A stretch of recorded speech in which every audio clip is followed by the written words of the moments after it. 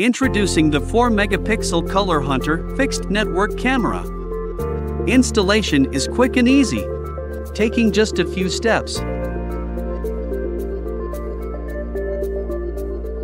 And two warm lights, LEDs, enable colorful images with audio day and night. The first product in Easy series with f1.0 large aperture and 1 over 1.8 inch CMOS sensor. Available in bullet and turret designs. The bullet ones are housed in metal cases. The bullet camera is made of a metal body and a graphene front face, which is stable, anti-aging, anti-corrosion and eco-friendly. With all the accessories included.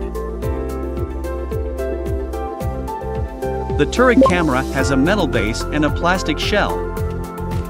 And its sphere has a metal front face and a plastic back shell.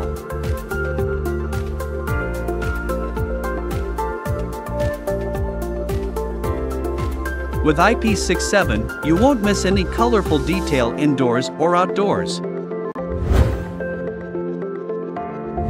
Enjoy the high resolution 4 megapixel footage, capturing every detail with ease.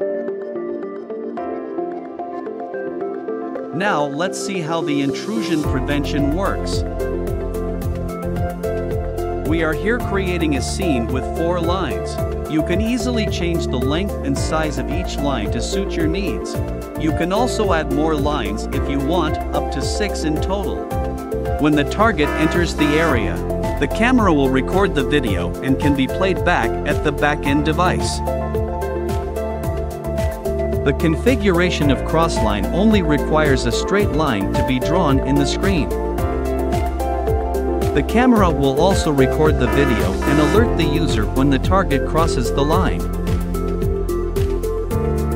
This is the new 4 megapixel Color Hunter camera of UNV.